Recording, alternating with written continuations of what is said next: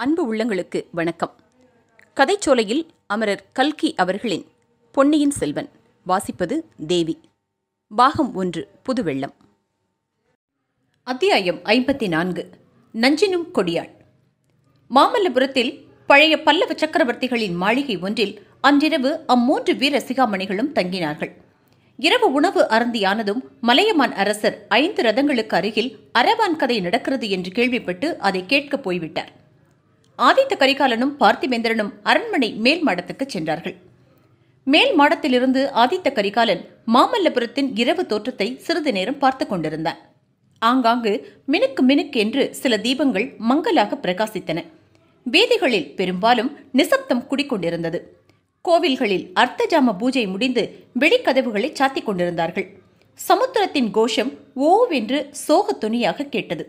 ஐந்து ரதங்களுக்கு பக்கத்தில் வில்லுப்பாட்டு வித்வானும் அவருடைய கோஷ்டியும் அரவான் கதை நடத்த அவர்களைச் சூழ்ந்து கதை கேட்டுக்கொண்டிருந்த ஜனக்கூட்டம் தீவர்த்திகளின் ஒளியில் கரிய நிழல் உருவங்களாக தெரிந்தது. இந்த முதிர்ந்த வயதில் கிழவர் கதை கேட்க போய்விட்டார் பார். என்ன இருந்தாலும் பழைய காலத்து மனிதர்கள் மனிதர்கள்தான். அவர்களுடைய உடல் வலிமையும் மனோதிடமும் இந்த நாளில் யாருக்கு உண்டு? என்றான் ஆதித்த கரிகாலன். அரசே தாங்களும் பழைய காலத்தின் பெருமையை பற்றி சொல்ல ஆரம்பித்து விட்டீர்களா? பழைய கால மனிதர்கள் சாதித்த என்ன காரியத்தை நம் காலத்தில் நாம் சாதிக்கவில்லை? தங்களைப் போல் இளம் பருவத்தில் போர்க்களத்தில் வீரச்செயல் புரிந்தவர்களைப் பற்றி கதைகளிலும் காவியத்திலும் கூட கேட்டதில்லையே என்றான் பார்த்திபேந்திரன். பார்த்திபா நீ உண்மை உள்ளம் படைத்தவன். மனதில் ஒன்று வைத்துக்கொண்டு வாயினால் ஒன்று பேசாதவன் என்பதை நன்கு அறிந்திருக்கிறேன். இல்லாவிட்டால் நீ என்னுடைய நண்பன் அல்ல. இத சத்ரு என்றே சந்தேகிப்பேன். அவ்வளவு கூடர்களின் மாபெரும் சைனியத்தை ஒரு சின்னஞ்சிறு படையை வைத்துக்கொண்டு எதிர்த்து நிர்மூலமாக்கி வீர சொர்க்கம் அடைந்த ராஜாதித்யரை பற்றி பேசுவதற்கே நாம் தகுதியற்றவர்கள். அவருடன் நம்மை ஒப்பிட்டுக் கொள்வதா? சோழ குலம் இருக்கட்டும். நீ பிறந்த பல்லவ குலத்தில் முக்காலத்தில் எப்பேற்பட்ட மகாபுருஷர்கள் இருந்தார்கள்? மகேந்திரவர்மரையும் மாமல்லரையும் இனி இந்த நாட்டில் எப்போதாவது காணப்போகிறோமா? தெற்கே துங்கபத்திரையில் இருந்து வடக்கே நர்மதை வரையில் ஒரு குடை நிழலில் ஆண்ட புலிகேசியை வென்று வாதாபியை அழித்து ஜெயஸ்தம்பம் நாட்டிய நரசிம்மவர்மர் எங்கே? நீயும் நானும் எங்கே?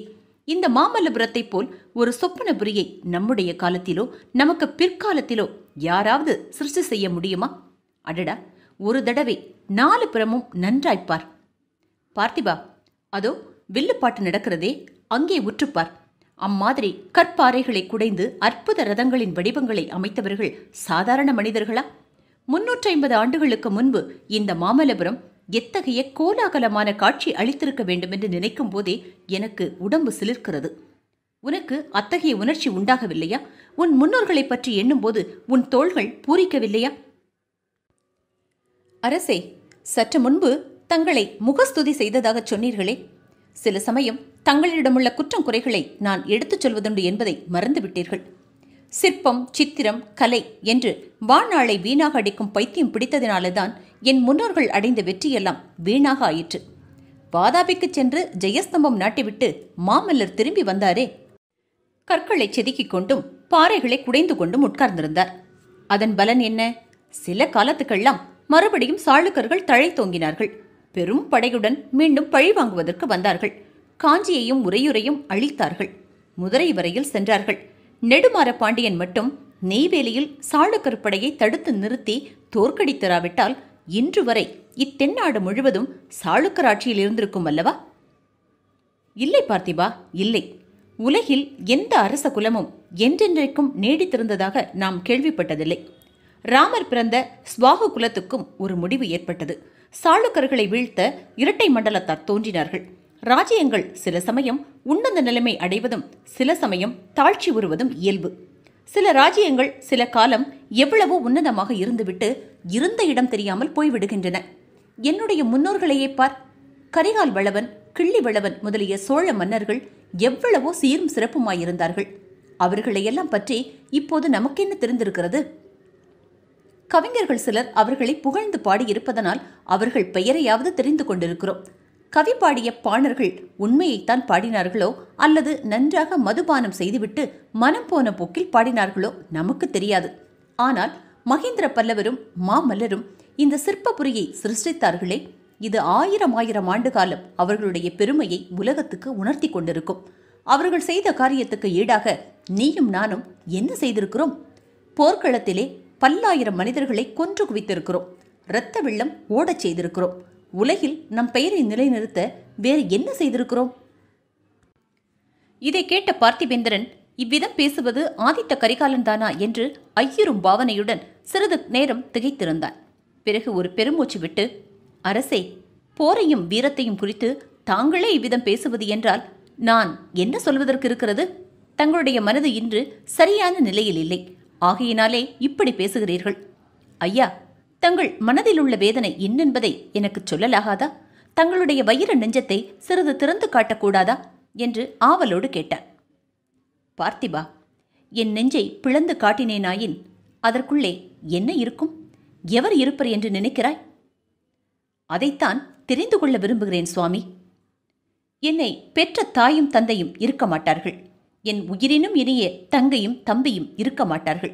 என் உயிருக்குயிரான நண்பர்களாகிய நீயும் வந்தியத்தேவனும் இருக்க மாட்டீர்கள். வஞ்சகமே வடிவமான ஒரு பெண் அதில் இருப்பாள். பாவமே உருவான பழுவூர் இளையராணி அதில் இருப்பாள்.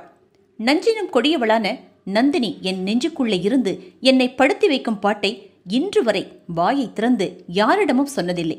உன்னிடம்தான் இன்று சொன்னேன். என்று ஆதித்த கரிகாலன் கூறிய வார்த்தைகளில் தணலின் ஜுவாலை வீசிற்று. அரசே அதை ஒருவாறு நான் ஊகித்தேன். பழுவூர் இளையராணியின் பேச்சு வரும்போதெல்லாம் தங்கள் முகம் கருத்து கண்கள் சிவந்து சொல்ல முடியாத மனவேதனையை வெளியிட்டதைக் கொண்டு அறிந்தேன். ஆனால் இந்த தகுதியில்லா மோகம் எப்படி தங்கள் நெஞ்சில் இடம்பெற்றது? அந்நிய பெண்களையெல்லாம் அன்னையென கருதும் மரபில் தாங்கள் வந்தவராயிற்றே. பழுவேட்டரையர் தங்கள் குலத்துக்கு நெடுங்கால உறவினர். பிராயம் முதிர்ந்தவர். இன்றைக்கு அவர்கள் நமக்கு பகைவர்கள் ஆனாலும் முன்னால் அப்படி இல்லையே. தங்கள் தந்தையும் பாட்டனாரும் அவரை எவ்வளவு மதித்து மரியாதை செய்தார்கள்.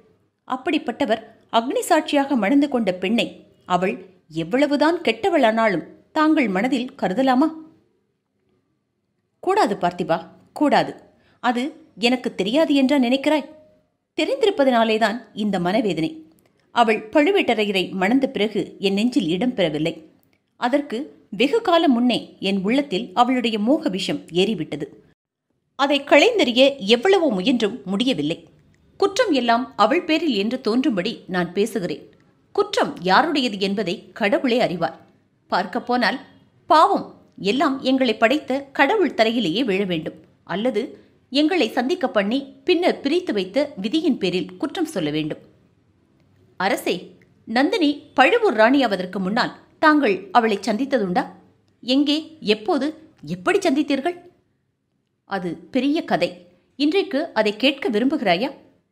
கட்டாயம் கேட்க விரும்புகிறேன். அதை தெரிந்து கொள்ளாவிட்டால் எனக்கு மன நிம்மதி இராது. நாளைக்கு இலங்கை போகச் சொல்கிறீர்களே. அங்கே சென்று என் கடமையை சரிவர செய்ய முடியாது. நிலைமை இன்னதென்பதை தெரிந்து கொண்டு தங்களுக்கு ஆறுதல் சொல்லிவிட்டு போனால்தான் என் உள்ளம் ஒருவாறு நிம்மதி அடையும். நண்பா எனக்கு ஆறுதல் சொல்லப் போகிறாயா? இந்த ஜென்மத்தில் எனக்கு ஆறுதல் என்பது கிடையாது.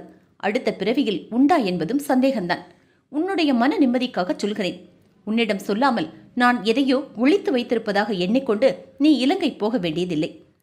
இவ்விதம் கூறி ஆதித்த கரிகாலன் சிறிது நிதானித்தான். பிறகு ஒரு நெடிய பெருமூச்சு விட்டுவிட்டு சொல்லத் தொடங்கினான். இணைவோம் அத்தியாயம் ஐம்பத்தி ஐந்தில்.